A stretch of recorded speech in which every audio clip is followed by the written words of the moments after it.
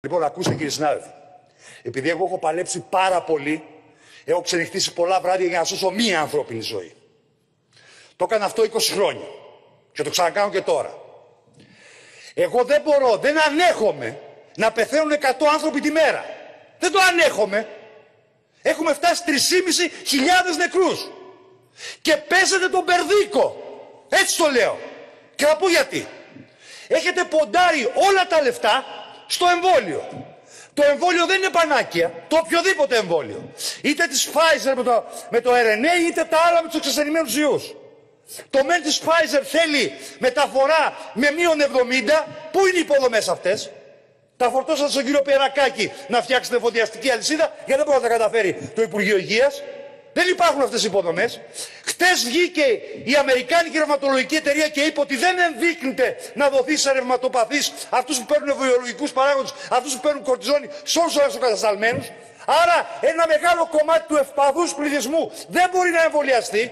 Χτες βγήκε αυτό.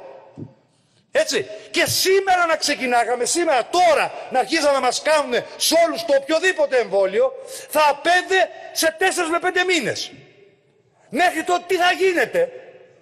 Θα πεθαίνουν άνθρωποι και θα το δεχόμαστε. Για πάτε το λίγο αλλιώς.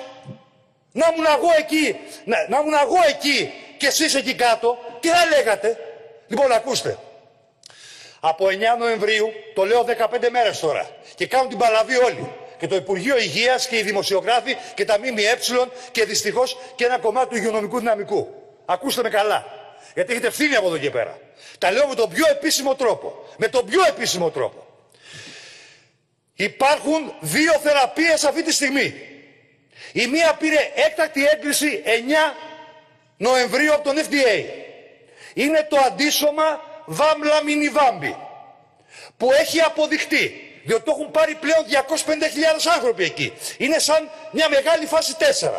Ότι αυτοί που το παίρνουν, που δεν το κάνουμε σε όλους, δεν το κάνουμε στον Οικοσάρι, στη, σε έναν ευπαθή πληθυσμό, σε έναν άρρωστο που έχει συμπαρομαρτούσες νόσους και μπορεί, είναι, είναι το 80% αυτών που βαραίνουν, αν στους 100 ασθενείς, οι 80-85 αυτοί που εξελίσσονται κακά και χρειάζονται μονάδα ή πεθαίνουν, είναι από αυτή την κατηγορία. Σε αυτούς το κάνουμε, σε αυτούς που νοσηλεύονται. Αποδείχθηκε λοιπόν ότι μειώνει 72% την πιθανότητα να νοσήσει βαριά. Αυτό ξέρετε τι σημαίνει; Ότι μπορούμε να γλιτώσουμε τους μισούς θανάτους από αυτούς που βιώνουμε σήμερα. Το καταλαβαίνετε αυτό ή δεν το καταλαβαίνετε; Πώς πρέπει να το πω; Το λέω 15 μέρες. Αυτό το φάρμακο μπορεί να έρθει στην Ελλάδα.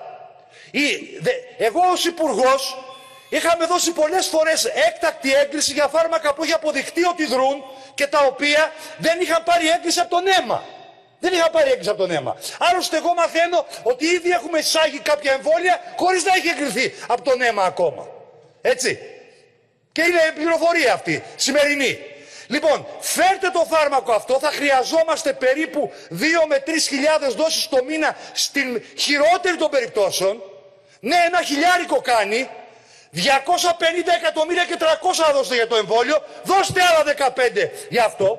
Και υπάρχει και δεύτερη θεραπεία που είναι η μοναδική θεραπεία που έχουμε αυτή τη στιγμή για αυτούς που είναι από τη 10η μέχρι τη 14η μέρα της νόσου, εκεί που γίνεται η υπερφλεγμονώδης αντίδραση και που δεν μπορούμε να τους παλέψουμε, που εξελίσσουν τη βαριά αναπνευστική δυσχέρεια, το RDS, τη πολυοργανική ανεπάρκεια και πεθαίνουν, που δείχνει ότι έχει μια σοβαρή επίδραση σε αυτούς και πολλοί γλιτώνουν και βελτιώνονται.